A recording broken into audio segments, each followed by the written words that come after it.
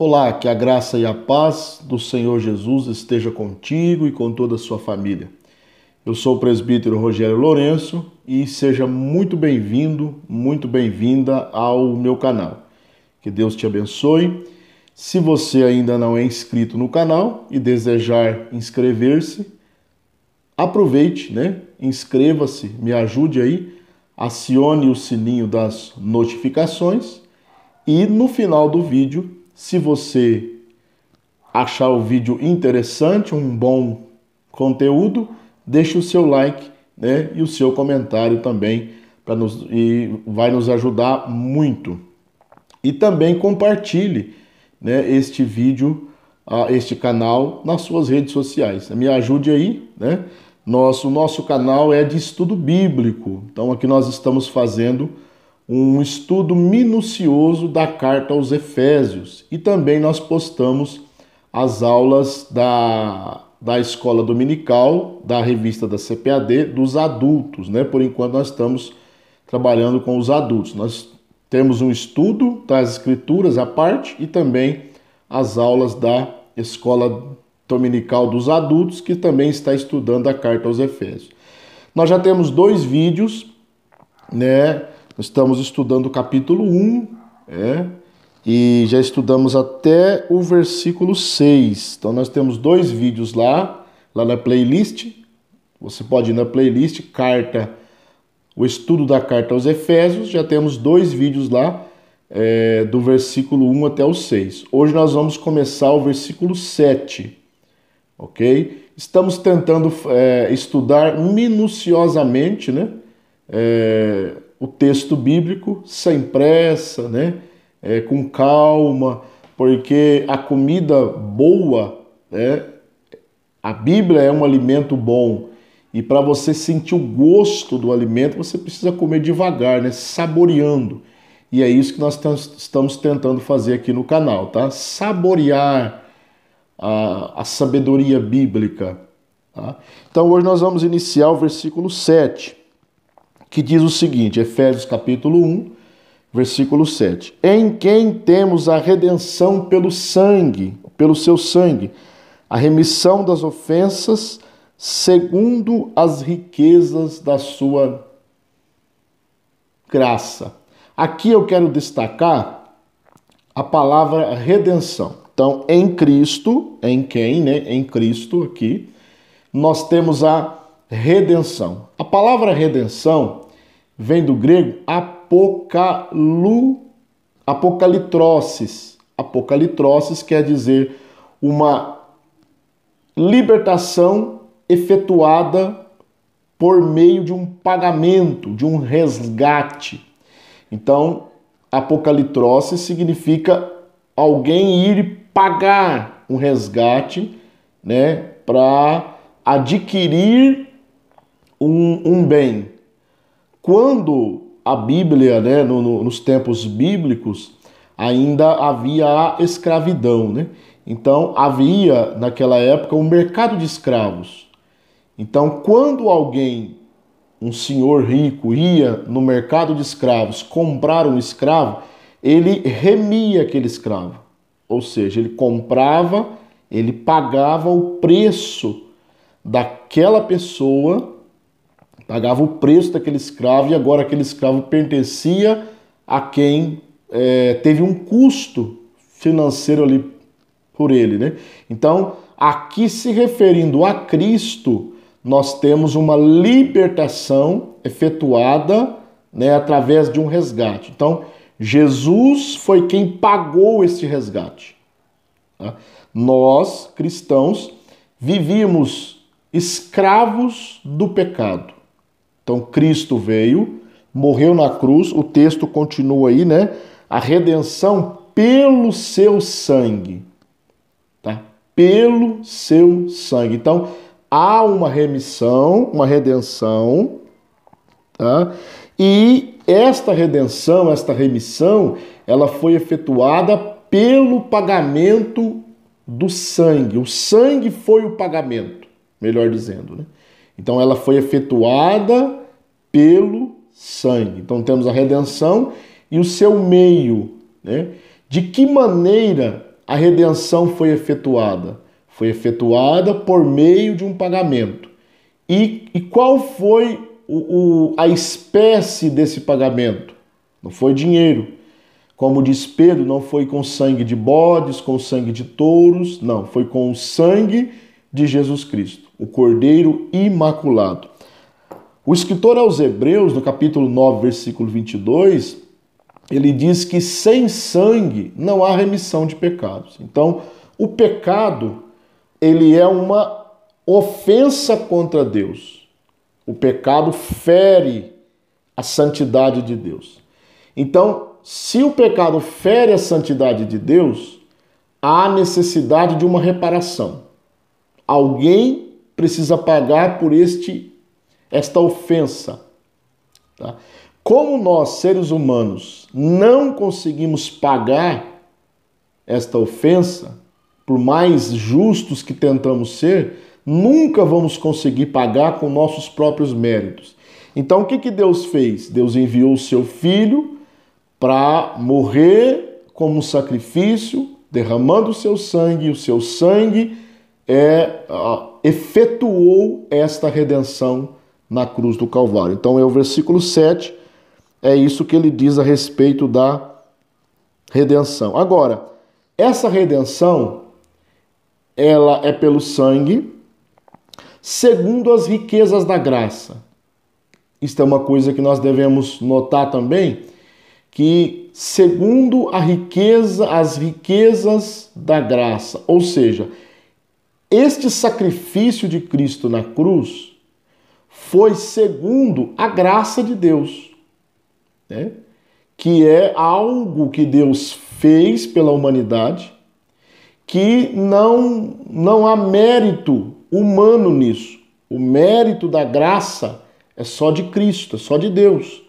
Então foi ele enviou seu filho, segundo João 3:16, para morrer em nosso lugar, trazendo para nós a redenção pela sua graça.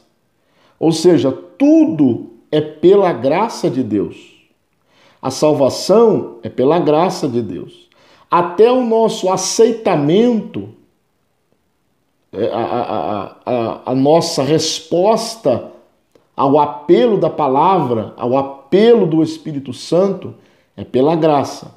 Então, Paulo diz: em quem temos a redenção pelo seu sangue, a remissão dos, das ofensas, dos pecados, segundo as riquezas da sua graça. Então, a redenção vem pela graça. É o que ele diz na mesma carta, né?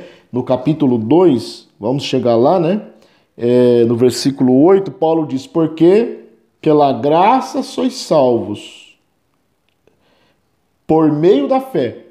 E isso não vem de vós, quer dizer, não é mérito de vocês, é dom de Deus. Então, a, a, a graça, ela possibilitou a nossa entrada, né, a, a nossa entrada, o nosso acesso a Deus. É pela graça. A remissão dos pecados é pela graça. Até tem um hino no nosso inário cristão, né? Que se não me falha a memória, 205. Jesus é a graça de Deus. A graça de Deus foi revelada e a graça de Deus é Jesus Cristo. Agora, partindo para o versículo de número 8, nós vemos o seguinte: que ele tornou abundante para conosco em toda sabedoria e prudência. Então, o que, que ele está dizendo aqui? Ó, o versículo 7 termina segundo as riquezas da sua graça que ele, que ele tornou abundante para convosco, ou para conosco. Então, a graça de Deus se fez abundante, né? se fez abundante em nossas vidas. Paulo escreve aos Romanos, ele diz assim: onde abundou o pecado, superabundou a graça. Ou seja, onde o pecado se fez muito presente, abundante, a graça foi mais abundante ainda. A graça foi maior o efeito da graça é maior do que o efeito do pecado. Então Paulo diz aí, né, que a graça que ele tornou abundante para conosco em toda sabedoria e prudência. Aí eu disse no vídeo anterior, ou, se, ou no primeiro, que a epístola aos Efésios é uma epístola muito profunda.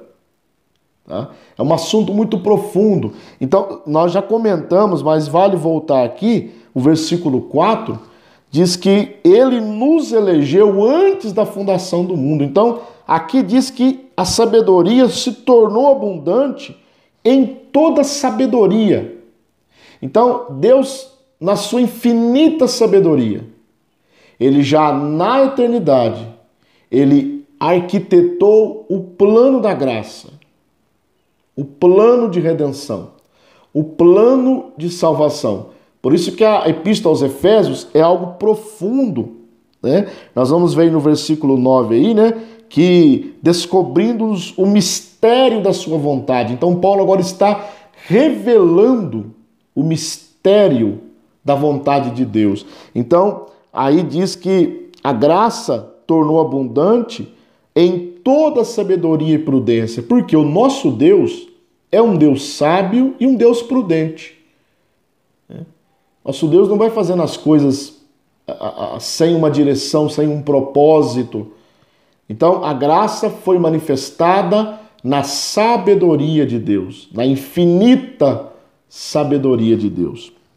E indo para o versículo de número 9, é, diz o seguinte: descobrindo-nos o mistério da sua vontade, segundo o seu beneplácito que propusera em si mesmo. E o versículo 10, vamos estudar os dois, né? Diz o seguinte: de tornar a congregar em Cristo todas as coisas, na dispensação da plenitude dos tempos, tanto as que estão nos céus como as que estão na terra. Aqui nós temos que Paulo está dizendo o seguinte: descobrindo-nos o mistério da sua vontade. Qual é aqui o mistério que está sendo revelado? O mistério da vontade de Deus que está sendo revelado.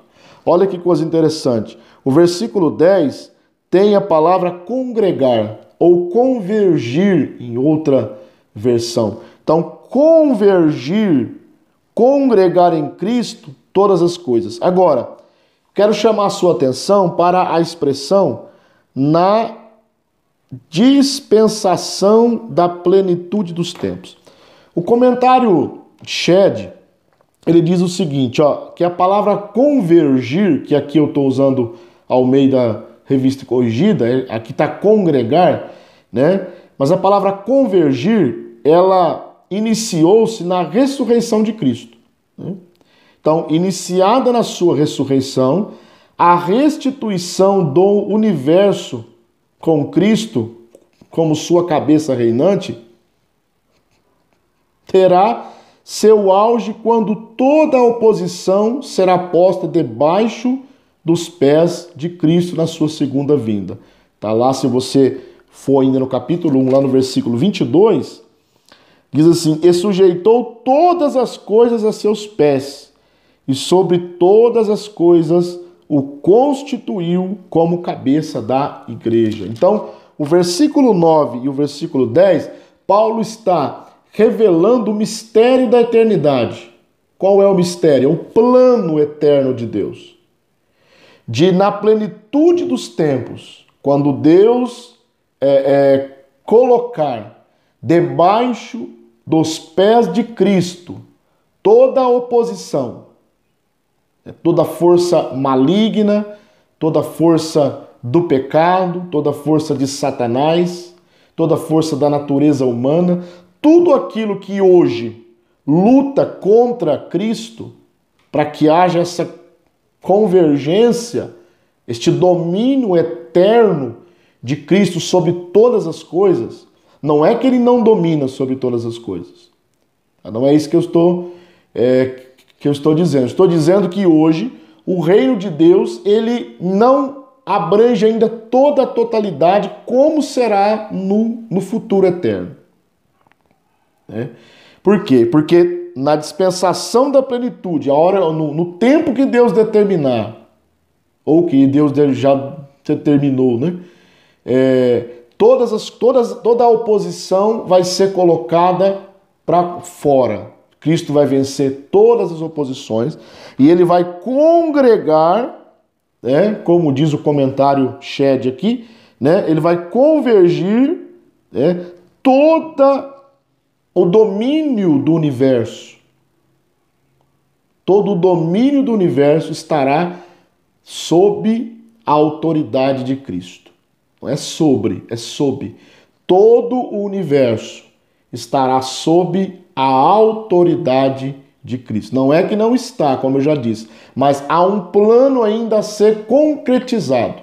E quando esta plenitude dos tempos chegar, em que Deus vai restituir todo o domínio né, a Cristo, ele vai mandar em tudo, é, este plano será finalizado. E aí nós vamos entrar no estado eterno. Resumindo o versículo 9 e o versículo 10, até para o vídeo não ficar muito grande, é, é, nós, eu quero usar um, uma sequência escatológica é, que é a visão assembleiana. Né? Eu sou assembleiano da Assembleia de Deus Missão, respeitamos né, outras opiniões, né? existem outras igrejas que têm um, um entendimento muito, muito profundo das Escrituras, né? Não estamos aqui para dizer que a Assembleia é a melhor igreja e nem que é a dona da verdade, muito menos isso, né? Mas eu quero usar aqui, respeitando as opiniões diversas, o plano escatológico que nós adotamos segundo a nossa visão bíblica. Então, tudo começa com o arrebatamento. Então, é a primeira coisa. Jesus arrebata a igreja, a partir disso inicia-se a grande tribulação num período literal de sete anos. No final dessa tribulação haverá uma batalha chamada Batalha do Armagedon. No final do Armagedon haverá a, o julgamento das nações, aqui na terra. O julgamento dessas nações, de Mateus capítulo 25, Jesus vai separar as ovelhas e os bodes. Quem sobreviver a este julgamento entrará na próxima etapa, que é o milênio. É um período literal de mil anos, segundo a nossa visão. Tá? Nós não somos amilenistas, né? Nós, nós cremos que o milênio é um período literal de mil anos. Passado esses mil anos, quando Satanás estará preso, tá? ele será solto por um pouco de tempo aí sairá a enganar as nações. Depois do milênio, haverá o grande julgamento final, que é o julgamento do trono branco, onde aqueles que não serviram a Deus estarão ali. Alguns pensam, né, que haverá salvação no no, no trono branco, outros dizem que não. Eu não quero entrar nessa questão aqui, porque eu estou simplesmente traçando um, um, um esquema escatológico né, para chegar na convergência de todas as coisas a Cristo. Então ali haverá um julgamento, né, aquele que não for achado inscrito no livro da vida será lançado no lago de fogo. E a próxima etapa, Deus cria um novo céu e uma nova terra, Apocalipse 22, e é o que nós chamamos de estado eterno. Então, nesse, nesse processo escatológico, Jesus vai congregar assim todas as coisas na plenitude dos tempos, tá? Então Paulo aqui está descobrindo o mistério, mostrando ó, que um dia Cristo vai convergir a si e vai tomar realmente, não é que ele não esteja, já falei três vezes isso para deixar bem bem fixado, né? Não é que Deus não tenha o controle de tudo, ele sempre teve e sempre terá porém ele obedece ao seu plano eterno, seu plano de redenção. Então, e para isso hoje é, é, ele ainda não, o seu reino não abrangiu todo o universo ainda, é, mas um dia isso acontecerá na plenitude dos tempos. o tempo que Deus determinar. Então aí sim estaremos no estado eterno, onde toda autoridade, né, todo domínio estará completamente nas mãos de Deus. E ali sim, né, todas as coisas vão convergir em Cristo, vão ser congregadas em Cristo. Amém? Vamos encerrar por aqui, né? O nosso estudo de hoje.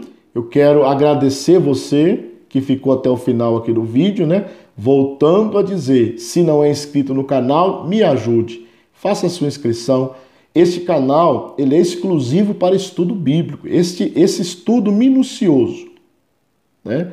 Minucioso ali, é, observando os termos, né, com calma. Nós estamos nós estudamos hoje é, versículos 7, 8, 9 e 10, né? Temos aí 20, mais de 20 minutos de vídeo, então é, é um estudo minucioso. Vale a pena acompanhar, né? desde o primeiro vídeo já está na playlist lá e vale a pena se inscrever em nosso canal. Que Deus em Cristo te abençoe e até a próxima.